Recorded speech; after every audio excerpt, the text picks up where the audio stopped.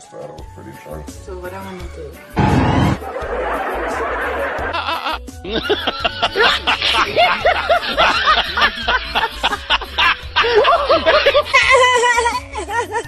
ha!